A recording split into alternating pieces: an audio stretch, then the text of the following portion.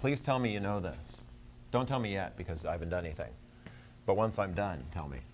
If you have an equation that looks like this, okay, the and you have an initial condition that looks like this,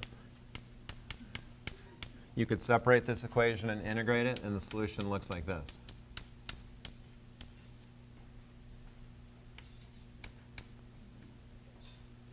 Yes. Differential equations has been successful. All right. Differential equations class. So that, all I've done here is, that's, is, uh, is A for this problem is that thing in the brackets there. Okay? So I've, this is the exact same problem here. That's my initial condition instead of that. Okay? My value A is this whole minus K A over Q thing. And then I'm evaluating this solution at x equal L. X, okay. The reason for that is because I only care what's coming out of the reactor here. I don't care what's in the, you know, I'm mainly concerned with what comes out. So I'm evaluating the solution at x equal L. Okay. So we're almost to the payoff point, people. All right. So this was the numerical solution. So, okay, there's my, here's, my, here's my goal. There's the analytical solution, right? There's the numerical solution. I want to prove that if n is sufficiently large, they converge to each other. Okay? That's my goal. All right, so let's see how we do that. So that's just rewritten from the previous page. There's nothing new here. That's just the numerical solution from the previous page. And here I've made the, um, it may not be obvious to you, but to get from this point to this point, I have used the fact that delta z is equal to L divided by, that's a really weird L. There we go. Divided by N.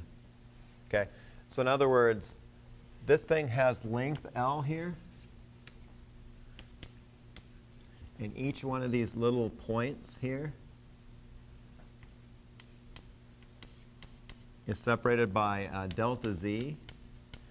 And so, and n is the total number of points. So this is the relationship between the length, the total length, the width each of these points is separated by and the total number of points. Another way to look at it is L equals N times delta Z. Okay? So I've used that relationship. I've substituted that in to go from this point to this point. Okay. Somewhere, and I don't even remember where myself, I found this theorem. Okay.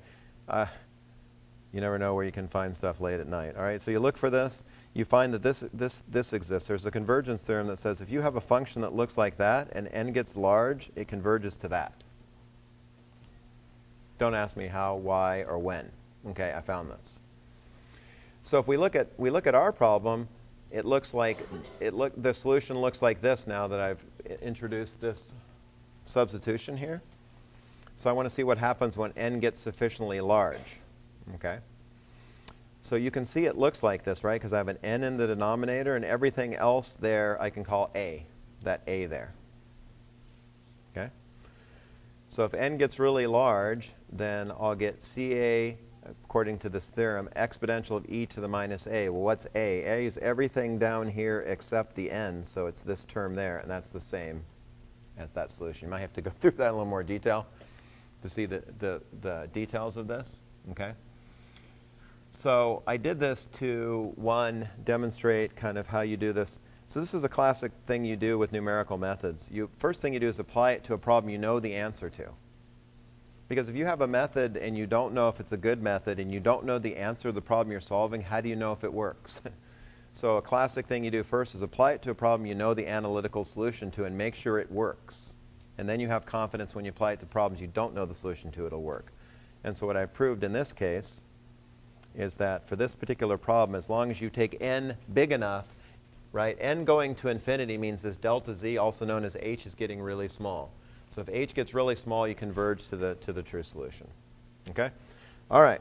I think, that's, I think that's enough for you folks today.